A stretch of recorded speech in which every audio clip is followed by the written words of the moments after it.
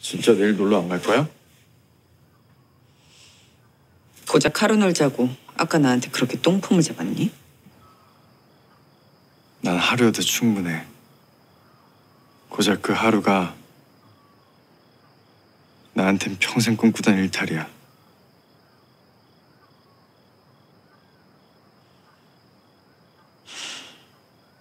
씨, 짜증나게.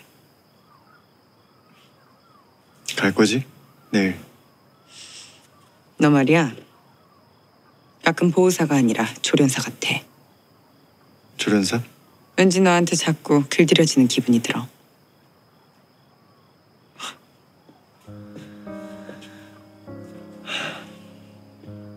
난 오히려 그 반대인데. 너 때문에 내가 안 하던 짓을 해.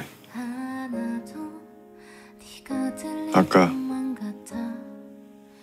아무 소리도 안 들리고 아무것도 안 보였어.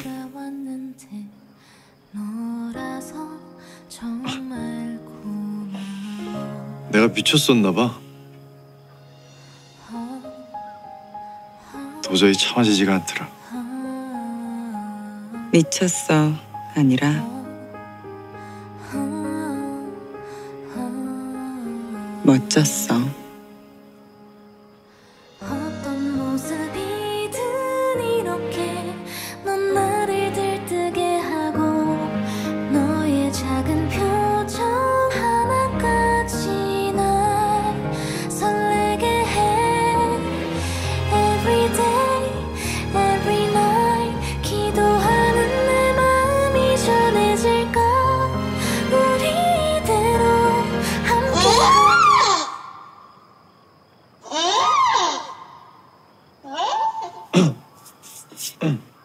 그럼 내일 오전 중에 출발할까?